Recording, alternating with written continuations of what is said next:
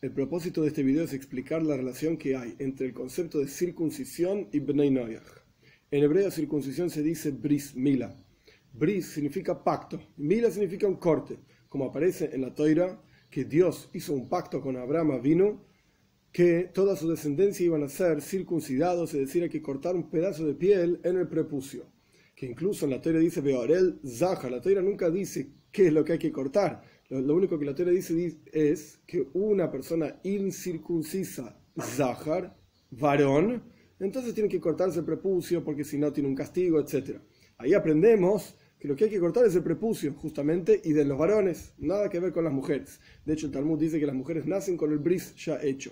La cuestión es que hay un pacto entre Dios y Abraham vino y su descendencia un Ben ¿Puede hacer el bris o no puede hacer el bris? ¿Debe hacer el bris? ¿No debe hacer el bris? ¿Está bien que lo haga? ¿No está bien? Etcétera. Esto es lo que queremos explicar. Primero voy a dar la conclusión alágica y después voy a explicar algunos de los escritos de nuestros sabios al respecto. La conclusión alágica es, un Ben no está obligado a hacerse la circuncisión. Si lo quiere hacer, puede hacerlo, no es una obligación, no es una mitzvah, digamos, de los siete preceptos de Beninoyach. Si lo quiere hacer, lo puede hacer, e incluso puede pedirle un moyel. Moyel significa la persona entrenada en el judaísmo para hacer circuncisiones, tiene las herramientas adecuadas, tiene el conocimiento adecuado, tiene la práctica adecuada, etc. Se llama moyel. Puede pedirle un moyel que lo haga, y para el moyel es algo adecuado, es una mitzvah, por, así decir, para él, hacerlo si el Beninoyach se lo pide como vamos a ver más adelante también. Incluso el Ben puede hacer el bris como ofrenda a Dios, por así decir, como hacer algo adicional para vincularse más a Dios. Esta es la conclusión alágica. Vamos un poco a los textos. Dice el Rambam, Maimónides, la mila, es decir, el corte del prepucio, solamente fue mandado a Abraham y su descendencia. Como está escrito, tú y tu descendencia tras de ti. Esto excluye a la descendencia de Ishmael, que es uno de los hijos de Abraham, por cuanto está escrito que Yitzhak será llamado tu descendencia. Esto está en Breishis, en el capítulo 21, el versículo 12. Y excluye también a Esav, que era uno de los hijos de Yitzhak, por cuanto está escrito que Yitzhak le dijo a Yaakov, Dios te dará a ti, es decir, a Yaakov, la bendición de Abraham a ti y a tu descendencia. Quiere decir que la bendición de Abraham que Dios, que Dios le dio a Yitzhak, Dios le dijo a Abraham que Yitzhak es su descendencia, Yitzhak le dio esa bendición a Jacob. Jacob es la descendencia de Yitzhak, no Esau. De aquí se entiende que él solamente, es decir, Jacob y su descendencia de Abraham, que son los que sostienen el, bris, el pacto, digamos, la religión y el camino recto son los que están obligados a hacer la circuncisión. Solamente los descendientes de Jacob. Dijeron nuestros sabios, próxima ley, los hijos de Ketura, después Abraham se casó con una mujer que se llamaba Ketura, que nuestros sabios dicen que era Agar también, pero más allá de esa discusión, los hijos de Ketura, que son la descendencia de Abraham después de Ishmael e Yitzhak, están obligados a hacerse la circuncisión. Rashi, uno de los comentaristas principales del Talmud, explica que en realidad, diferente de lo que dice Maimónides el Rambam acá, en realidad solamente se refiere el Talmud a los seis hijos de Abraham con Ketura, solamente a ellos. Pero el Rambam dice que se refiere a todos los hijos de Ketura. Y por cuanto se mezclaron hoy en día los hijos de Ishmael con los hijos de Ketura, están todos obligados a hacer bris en el octavo día. En la práctica no lo hacen, en la práctica, de hecho, el Rambam termina diciendo que no reciben muerte por no hacerse el bris, la circuncisión, porque es una duda si son hijos de Ketura, no son hijos de Ketura, etc. Es interesante, el Rambam dice que los hijos de Ishmael se mezclaron con los hijos de Ketura, no todos los seres humanos están mezclados, por así decir.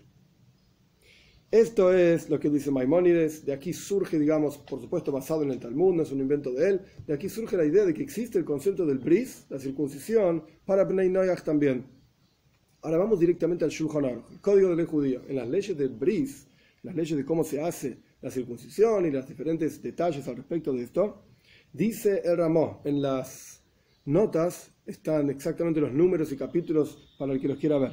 El Ramó se llamaba Moishe Iserles, que es el rabino principal para todos los Ashkenazim del mundo, la judería, digamos, del norte de Europa, mientras que el Mehaber, Mehaber significa el compilador, en el código de ley judía Shulchan Aruch, es Rabbi Yosef Karo, el rabino principal para el mundo sefaradí.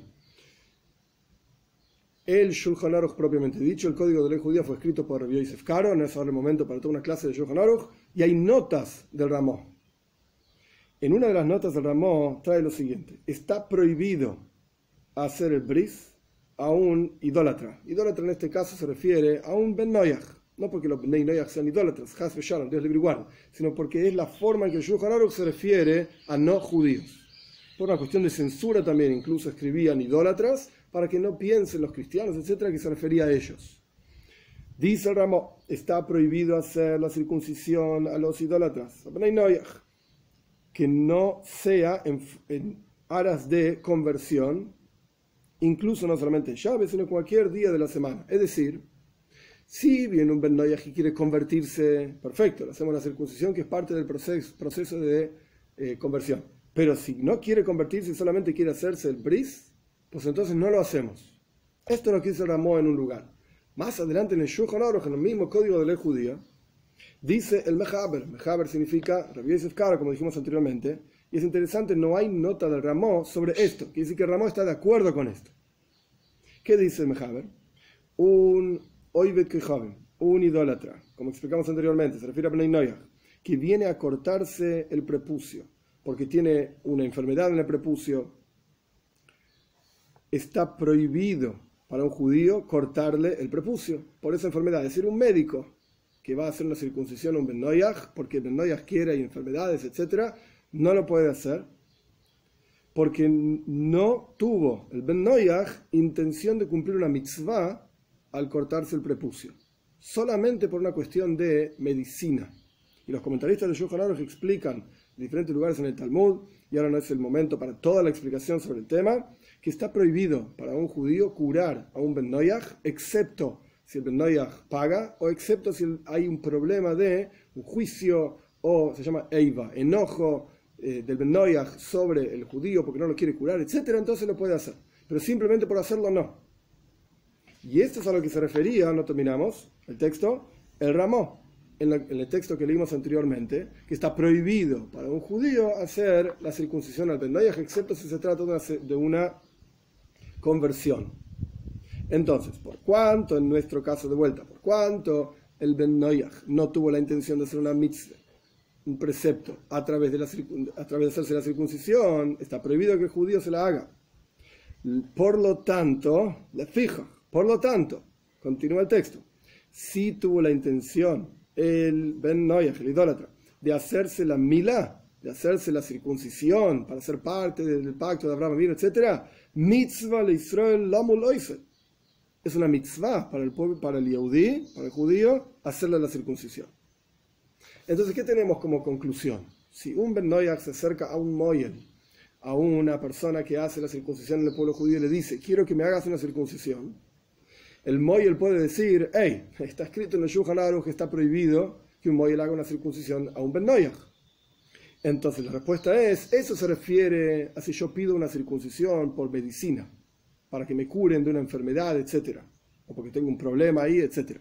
Pero si yo quiero hacerlo como ofrenda hacia Dios, es una mitzvah, es, es, algo positivo para el moy, el judío, hacer la circuncisión.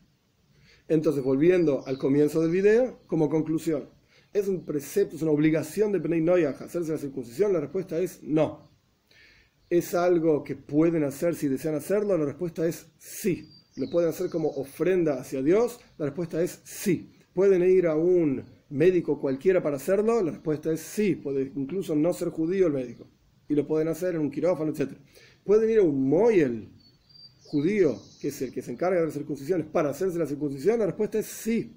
Y si el moyel no lo quiere hacer, le puede mostrar en el Shulchan el código de ley judía, donde está explicado específicamente y de vuelta abajo en las notas en, la descripción del video están los números exactos donde está esto escrito mitzvah la si el Ben lo quiere hacer como ofrenda a Dios la circuncisión para ser parte del pacto de Abraham vino es una mitzvah es un precepto para el moyel judío hacerle la circuncisión todo el concepto de circuncisión representa la revelación como la pría. Está el miembro y está el prepucio tapando el miembro, y la idea de la circuncisión es quitar ese prepucio, y esto representa, espiritualmente hablando, la revelación, esto es a lo que se refiere Priya, revelación del miembro, etc. Pero el punto es que todos tenemos en nuestro interior un ocultamiento, somos incircuncisos de corazón, por así decir, y como está escrito que en la venida de Moshiach,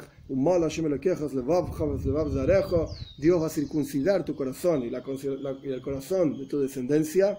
Y esto lo que quiere decir en la práctica es que vamos a ser capaces de percibir la presencia de Dios, que en la práctica está en todos lados y en todas las cosas, pero nosotros vemos un mundo material porque tenemos los ojos ocultos, porque tenemos un prepucio en el corazón. Entonces, a través del concepto del bris, de la circuncisión, es que revelamos abrimos los ojos, por así decir, y que esto ocurra rápido en nuestros días, que podamos ver con nuestros ojos de carne y hueso la presencia de Dios en todos lados, que la boca de Dios crea todas las cosas, con la venida de Mashiach pronto en nuestros días.